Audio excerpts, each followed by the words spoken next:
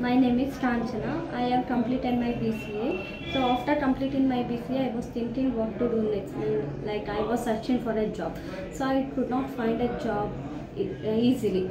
So one of my friends suggested me a QSpider. So I came to QSpider and joined for the courses. So the course was six months. So the course included the manual testing, SQL, Java, and Selenium. So with the aptitude classes.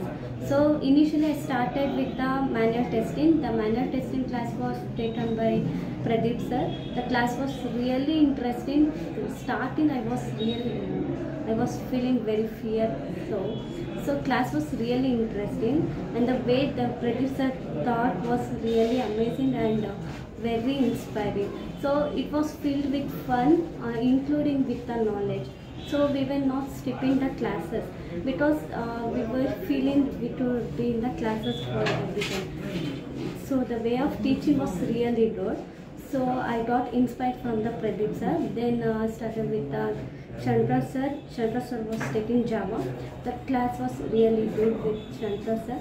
So the way of teaching the programs, every line by line, he was teaching everything and with the fun filled classes. Not only the uh, only one trainer or two trainer. Every trainer in the QSpiders are really good. The way of teaching is really good and we, we do not feel the boredness in the we were not feeling bored in the classes because it was really fun and knowledgeable. So after i completed the java so when I was started with the Selenium, I got placed in the DHC technology with a 3 lakh package. So I am working in DHC technology now as of now. So I am really very thankful for the QSpider and every trainer, every people in the QSpider. It was really inspiring and wonderful journey for me in my life. Thank you.